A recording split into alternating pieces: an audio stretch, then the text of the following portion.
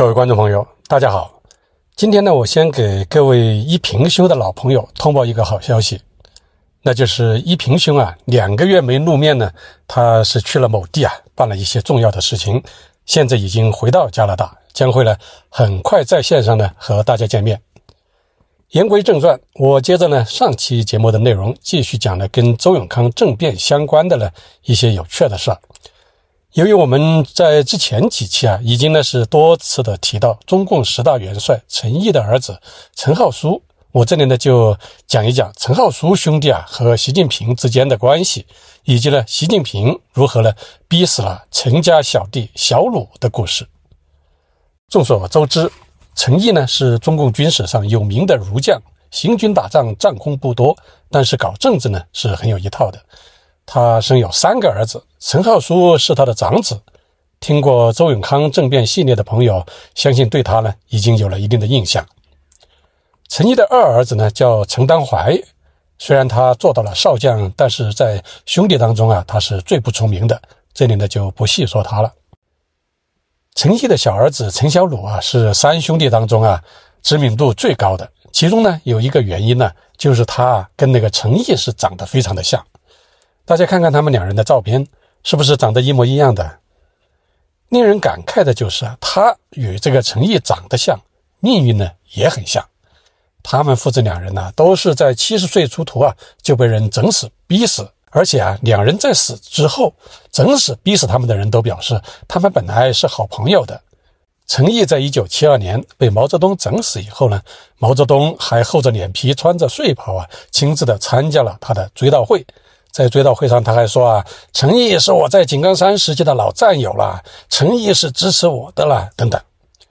而陈小鲁在二零一八年二月底被习近平逼死以后，习近平没有来参加在海南岛举行的追悼会，只是呢派了亲弟弟习远平呢去代为向陈小鲁的家人致意。据说习近平当天呢也向前港澳办主任陈小鲁的妹夫啊汪光亚说啊，小鲁是我多年的朋友。听闻呢，小鲁去世呢，是深表关注，希望处理好后事，家属节哀。习近平这个独夫名贼也会有朋友，也配有朋友，竟然还有陈小鲁这样的朋友。另外，习近平为什么要对自己的老朋友下狠手，要把陈小鲁给整死、逼死呢？难道是陈小鲁得罪了习近平吗？陈小鲁长得是像老爸陈毅，这是啊遗传基因的强大作用。历史啊，似乎呢也有着类似基因的强大遗传性。一九七二年文革时陈毅受难的影子，到二零一八年又投射到了新文革年代的陈小鲁的身上。陈毅在文革中被打成二元逆流，被毛泽东整死。他在临死之前，儿子陈小鲁从部队呢去见父亲。陈小鲁见陈毅全身是插满了管子，医生不停地给他来进行各种治疗啊，包括清痰、吸痰呐、清洗啦，不停地翻身了，是十分的痛苦。陈小鲁很自然的就问：“喂，能不能够不进行抢救了？”他觉得对临终病人不进行这些所谓啊无谓的抢救啊，可以呢减轻病人的痛苦。不料呢，他遭到了医生两句话呢：“你说了算吗？我们敢吗？”那在文革期间，真是人不如狗啊！陈毅是贵为开国元帅，连死亡的权利啊，也是掌握在毛泽东的手里，死的也是不如一条狗啊。那么陈小鲁又是怎样被习近平整死、逼死的呢？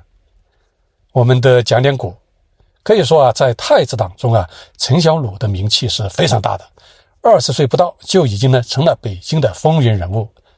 当年文化大革命一开始就当选了北京八中文革的主任，不过文革小将们的这种残酷啊和暴力呢，又令他呢发起组织了西城区纠察队，抵制呢对老师啊等所谓当权派的这种批斗。结果啊，最后需要的周恩来总理啊当时亲自出面把他呢保护起来，才逃过了被新一批的这种红卫兵的追杀。陈小鲁啊，也是呢最早走出国门的红二代。在八十年代初，他就到英国呢，去担任外交官，见识了呢这个西方世界的活力。他在回国之后呢，就开始致力于了中国政治的现代化。习近平上台后不久，陈小鲁啊又致力于了这个社会的和解。他在二零一三年八月二十号啊，陈小鲁在这个网络上呢就发布了一封道歉信，说自己呢当年作为这个文革的学生领袖呢啊，对这个曾经伤害过老校这个领导啊、老师呢和同学呢都有责任，就来向他们道歉。这一次道歉呢，也是引起了社会的这种广泛关注。以陈小鲁的这个能力和背景，他本来是可以在中国的政坛呢大展身手，前程无量的。甚至有人说啊，如果中中国的政治清明，陈小鲁啊，可能呢都做到了中国的国家主席。问题是中国政治哪里会有清明的一天？当陈小鲁成为赵紫阳政治改革运动中的一员之后，随着赵紫阳在一九八九年因为支持学生运动而倒台，陈小鲁的仕途呢也就走进了死胡同。俗话说：“车到山前已无路，柳暗花明又一村。”陈小鲁当然不会就此躺平，他于是是率先下海进军商界呢，就当了老板，并且啊。与年轻他二十岁的吴晓辉啊，开始了长期的合作。经过十多年的纵横捭阖，陈小鲁与吴晓辉一起打造出来近两万亿资产的安邦保险公司。据说安邦董事长吴晓辉娶了邓小平的孙女邓卓瑞，成为邓家的驸马爷，就是呢陈小鲁做的媒。中国南方周末杂志啊，在二零一五年一月二十九号曾经报道说，陈小鲁是安邦保险的实际的控制人。安邦保险董事长吴晓辉啊，也被一些人呢认为是陈小鲁的这个白手套。而陈小鲁是身家万亿，是没有公开的、隐形的这个中国首富。安邦保险、安邦定国，这是否投射了陈小鲁的政治理想呢？现在是不得而知了。也许是安邦这个名字呢，令习近平听了不舒服；也许呢是习近平家族啊和邓小平家族的这个恩怨难断呐。总之，在习近平站稳脚跟、大权在握之后呢，安邦就成了习近平的眼中钉、肉中刺，那是非拔去不可的。二零一四年开始，习近平开始打击权贵资本，安邦是首当其冲。在南方周末报道过以后呢。这个陈小鲁啊，在二零一五年年初呢，就发表声明，坚决的否认了自己呢是安邦的实际控制人，表示自己啊就是顾问，一个呢是咨询，一个呢是站台，是没有股份的，等于呢是放弃了他在安邦集团的万亿资产。这也就是说啊，陈小鲁希望呢用这笔钱买平安着陆。不过，习近平他又怎么会善罢甘休呢？在二零一七年六月，习近平呢。向邓小平家族开刀，吴小辉啊，在走出邓家的时候呢，就被捕了。过了两个月呢，陈小鲁就被边控，不准出境。到了年底，他在这个当局的这个传召之下，去上海呢接受调查。二零一八年春节前，虽然陈小鲁啊获准保外过年，但是刚刚过完年，在二月二十三号，即农历的二月二龙抬头的日子。陈小鲁的好拍档吴小辉呢就被提起了公诉，而在五天之后，也就是二月二十八号，陈小鲁过完年之后呢，回到海南岛，与妻子大将粟裕的女儿粟慧玲在海南省从海口开车啊返回三亚亚龙湾的时候，下午呢还得去喜来登的酒店接受了调查人员对他的问话。到晚上九点二十，陈小鲁准备洗澡睡觉的时候，就说了一句。小慧，我不好，就倒下了。陈小鲁因为突发性的大面积心肌梗塞，就再也没有醒来。一九八九年四月十五号，胡耀邦呢也是因为心肌梗塞而去世。从那个年代开始，预防心肌梗塞呢就成为了中共权贵的基本常识。事实上呢，只要预防得法，心肌梗塞在医学上已经不算是什么了不起的大毛病了。三十年过去了，陈小鲁难道忘了胡耀邦的教训？由于陈小鲁的身份和影响力，他的死在当时啊，那是引起了很大的震动，也引起了很多的猜测。其实这根本不用猜，陈小鲁之死也像胡耀邦之死一样，是被气死、被吓死，兼而有之。因为啊，如果没有习近平毫不留情的追杀安邦，陈小鲁如果是交了钱就可以过关的话。陈小鲁是根本就不可能为这个送命的。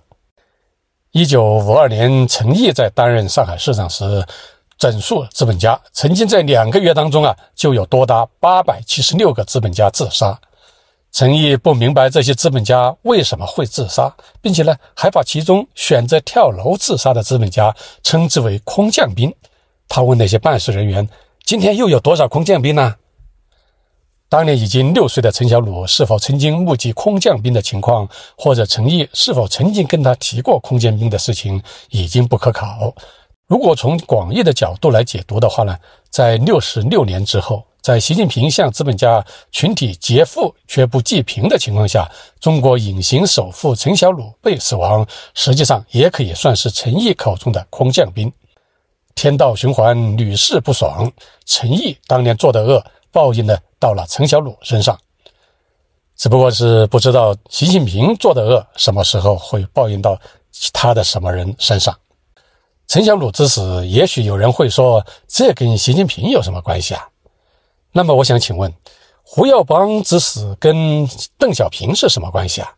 为什么胡耀邦死了以后，全国的老百姓都要向邓小平讨公道，并掀起轰轰烈烈的八九学潮？全国老百姓都知道，杀胡耀邦者非心脏病也，是邓小平是也。而现在啊，杀陈小鲁者，习近平是也，这不是很清楚吗？也许习近平和陈小鲁曾经的确是朋友，陈小鲁也说啊，他们两人之间呢，应该还是有相当多的私人互动的。在二零一三年的一次访谈中，陈小鲁就谈到过和习近平两人之间的互动，他没有指名道姓。但大家都知道，他说的就是习近平。在被问到他会不会向习近平就国家大事提出意见的时候，陈小鲁明确地说不会。他还给自己的不会提意见呢给出了原因。为什么呢？如果他当了官，你讲话他爱不爱听，这是第一。另外呀，好不容易聚到一块儿，对他是个放松的机会。你给他提个问题，那干嘛呢？人家本来跟我们聚一聚是聊聊天，回忆过去。对他来讲啊，是一放松。陈小鲁说的有点含蓄，但意思呢是很清楚的。那第一，习近平是听不进别人的意见的，你跟他提戒严，那是自讨没趣啊。第二就是啊，习近平来找陈小鲁是为了向故人呢、旧友啊炫耀自己的威水成就，你不要去扫了他的兴。史记中有名言说：“富贵不归故乡，是如锦衣夜行。”习近平一统天下，嘴上把自己塑造成一个没有七情六欲的人，但是大家都知道，他不过就是一个凡夫俗子而已嘛，又怎么会不想穿着锦衣去夜行，找几个旧友相聚来满足他的虚荣心呢？不过，陈小鲁也在同一次的访谈中，更加隐晦地提到习近平的另一个问题，那就是习近平身上啊有一种暴力之气，而这种暴力之气啊，不只是他有。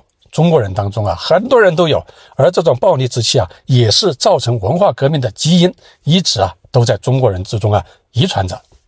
暴力之气不只是在习近平的身上表现明显，在陈小鲁大哥啊陈浩书的身上也一点不差，甚至呢有过之而无不及。大家在听过我之前讲的三一九政变系列故事的，就可以看到一个那是活脱脱的暴力的陈浩书啊，也许是在。几个兄弟当中啊，是老大的缘故，也许是呢，他这个研究中共的这个军史的缘故。陈浩书向来那是敢做敢当啊，有一种呢要做大英雄的情节。而他的暴力之气呢，在他被胡锦涛不追究责任之后啊，又闯了一次大祸。而且他闯的这个大祸啊，可能在某种程度上为他的小弟陈小鲁带来了厄运。那么他闯的是什么大祸呢？这个就与习近平二零一二年九月前半个月的失踪一事呢有关系。习近平从当年八月底最后一次露面之后，直到九月十五号，他才呢在北京啊首度的公开露面，出席当天的全国的科普日的活动。不过他看起来啊是想得相当的疲惫。习近平的神秘失踪超过两周，影响非常之大，导致多个重要的外事活动呢都需要被取消，也间接呢导致了中共十八大呢需要推迟两三周呢召开，而习近平登基啊也是推迟了两三周。那么习近平为什么会失踪两周呢？十多年过去了，这个原因呢一直都还是谜。北京当局呢也任由了这个谣言四起，到现在呢也没有做出任何的解释。当时关于习近平的失踪啊，至少呢是有六个不同的版本：一啊是运动受伤，是游泳的时候呢引致背部或者是手臂呢受了伤；第二个就是习近平患了疾病，可能是中风，也可能呢是家族的遗传病；第三呢就是他啊在九月四号遇到了车祸。有人甚至说啊，当时他是遭到了阵地的行刺。第四呢，就是轻微的心脏病发、心肌梗塞，不过就没有像胡耀邦和陈小鲁一样呢送命。第五啊，据说呢，就是习近平在胡锦涛外访期间呢，擅自呢在家中啊开军委会会议，被元老啊和常委们呢批评，责罚他呢两周闭门思过。第六种说法呢，是他说他秘密南下到深圳的去处理当时出现的香港方面的问题。而到了当年十月三十一号，英国前景杂志的记者凯拓，他就独家报道习近平的神秘失踪的秘密。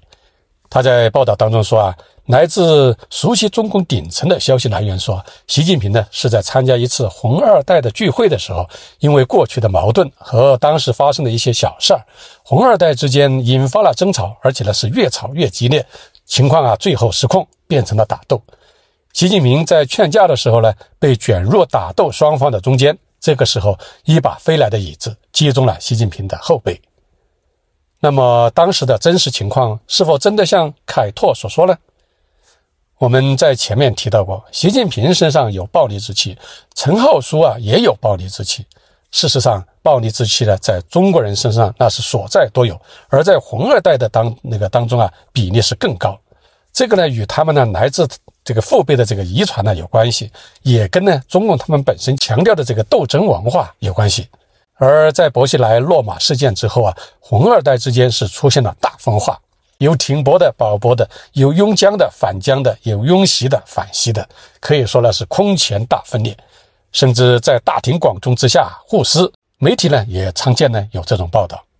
所以，英国记者凯托的报道是离这个事实的真相呢最接近的。不过，习近平为什么会参加这么情绪化的太子党聚会呢？他真的是混乱之中无辜中矣吗？又是谁敢冒犯天颜，把椅子砸向了楚君习近平呢？凯托没有给出答案。老一辈共产党说，革命不是请客吃饭；红二代就说啊，请客吃饭也是革命。当年习近平登基在即，他深知太子党服则天下服，红二代平则天下平。由于薄熙来已经倒下，习近平成为了太子党的独主，太子党出现分裂啊，对他那是极为不利。因此，他呢就请客吃饭搞革命，召集了这次红二代的聚会，希望呢以太子党掌门人的身份来整合太子党。问题的是，太子党哪能那么容易经过一次聚会就摆平呢？由于啊，习近平以前呢并不是太子党的核心人物，因此这次聚会中，薄熙来事件成为他的烫手山芋。由于啊他是薄熙来被打倒的主要推手之一，习近平就成为了挺薄太子党的众矢之的。加上呢，他又拿不出挽救薄熙来的任何对策，红二代一时间那是群情激愤呐，有人呢就开始乱丢桌上的小物件呢，以表达愤怒。由于现场的气氛那是越来越热烈，忽然呢，有太子党手中的纸巾、筷子啊等呢，向习近平扔了过去。参加聚会的陈浩书啊，本来在三一九政变失败后，习近平曾经在他离开精神病院去看过他，他还想帮习近平说几句好话，为习近平呢帮点忙。不过随着场面呢就开始失控，也许啊是他突然想起，在三一九政变当中，其实呢他是被习近平当成了棋子。也许呢是多年来呀与薄熙来的这个深厚交情呢，突然一下子就复活了。也许呢是受了当时现场气氛的这个感染呢，这个性格火爆的老先生是近乎失控的，拎起了自己坐的椅子呢，就向习近平扔了过去。习近平那是顾得了前面飞舞的筷子啊、茶杯啊和本来应该下肚的美食啊，却顾不了身后呢还有飞来的点心。这把分量不轻的椅子呢，也不认人，就狠狠地砸到了习近平的腰背上。习近平本来呢有这个腰伤旧患，腰背突然挨了这么一把急速飞来的椅子，一米八几的大个子习近平庞大的身躯呢，就缓慢地倒在了地上，那是一脸痛苦啊。他当时甚至都不知道到底是谁砸了他一椅子。而陈浩书一看自己就知道，哇，闯了大祸啊！马上呢就上前呢去救治这个习近平呢，而且呢诚心的向习近平做出了道歉。习近平这个时候呢，为了要整合太子党呢，就真的没有去怪罪他。但是腰伤不要命啊，但是站不起啊，坐不宁啊，这呢就是习近平因为呢要养伤两周而神秘失踪的背后真相。也许是挨了椅子被迫躺平了两周的缘故，也许是习近平改变了方式，采取了逐个说服与数百个红二代面谈的缘故，许多铁杆挺薄的红二代呢，逐渐呢也都接受了习近平是太子党独主的地位。在这一庞大的工程当中，陈浩书为习近平鞍前马后啊，这个出了大力呢来赎罪，成为了习近平最忠实的跟班之一。甚至在习近平整肃陈小鲁的时候，陈浩书啊还在以大哥的身份呢，啊压劝陈小鲁，要他呢服从调查，不要跟习近平呢去作对。受了以己之辱，睚眦必报的习近平，放过了暴力却简单的陈浩书，却不会放过能量巨大的陈小鲁。这也就是陈小鲁被习近平整死逼死的真实的原因，也呢是我上一期说要给大家报的大瓜。下一集呢，我们就继续讲周永康政变的故事。希望大家呢是继续捧场，谢谢大家收看，再见。